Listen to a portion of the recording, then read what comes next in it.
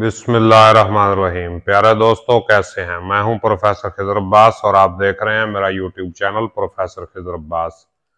आज मैं आपकी खिदमत में एक छोटा सा लेक्चर लेके आया हूँ।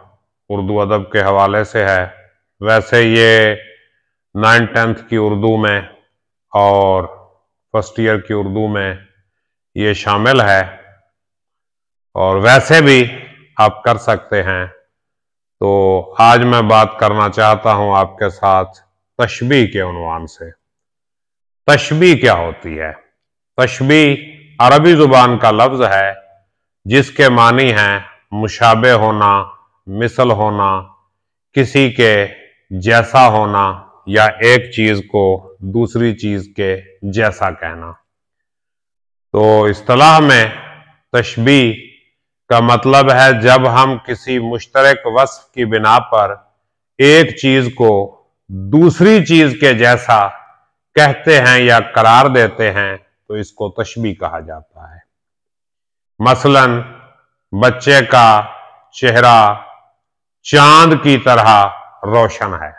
तो अब बच्चे के चेहरे को किससे तशबी दी है? हमने चाँद के साथ। उसके बाल घटाओं की तरह स्याह हैं। तो ये हमने उसके बालों को तशबी दी है घटाओं के साथ। वो शेर की तरह बहादुर है तो अब उसे हमने शेर के साथ तशबी दी है। तो तशबी के अरकान कुल पाँच हैं। मुशब्बा मुशब्बा बही हरफ तशबी वजह शुबा गर्ज तशबी तो सबसे पहले मैं बात करता हूँ मुशबह की। तो जिसे हम तशबी देते हैं, उसे हम कहते हैं मुशबह और जिसके साथ तशबी देते हैं, उसको हम कहते हैं मुशबा बही। जैसे हम कहें, असलम शेर की तरह बहादुर है। इसमें असलम हो गया मुशबा क्योंकि हमने असलम को तशबी दी है शेर के साथ। और शेर हो गया मुशबा बही कि इसके साथ हमने तशबी दिया। तो जिसको तशबी दें वो मुशबा जिसके साथ तशबी दें वो मुशबा बही। असलम शेर की तरह बहादुर है। असलम मुशबा शेर मुशबा बही। उसके बाल स्याह रात की तरह काले हैं। तो उसके बाल स्याह रात की तरह काले हैं तो ये क्या होगा? उसके बाल मुशब्बा और स्याह रात जो है, ये मुशब्बा बही। पानी आग की मानंद गर्म था। पानी हो गया मुशब्बा आग हो गई मुशब्बा बही। तो मुशब्बा और मुशब्बा बही दोनों को हम क्या कहते हैं? तरफैन तशबी।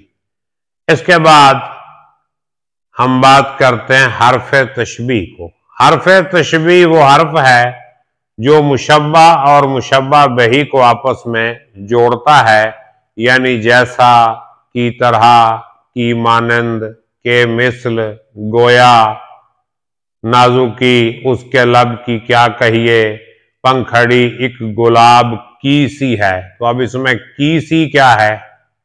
ये अर्फ तशबी है।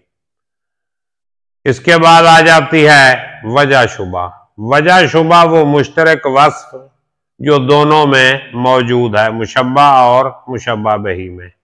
और मुशबा बही में जो वस्फ है, वो परफेक्ट तरीके से, मुकम्मल तरीके से पाई जाती है और दुनिया उसे जानती है। और गर्ज तशबी जो है, ये वो मकसद है जो तशबी देने वाला तशबी से हासिल करना चाहता है। जैसे मैंने एक मिसाल दी, बच्चे का चेहरा चाँद की मानंद खूबसूरत है या चाँद की तरह खूबसूरत है। इसमें बच्चे का चेहरा मुशबा चाँद मुशबा बही की तरह हरफ तशवी खूबसूरती जो है, ये वजह शुबा है। और बच्चे के चेहरे की खूबसूरती को वजाहत करना, उसको बढ़ा चढ़ा के पेश करना, ये गर्ज तशबी है। तो ये हमारा आज का टॉपिक था, बड़ा मुख्तसर सा टॉपिक है। इस हवाले से कोई सवाल आपके जहन में आता है तो वो आप कर सकते हैं। अपना ख्याल रखिएगा। अल्लाह हाफिज़।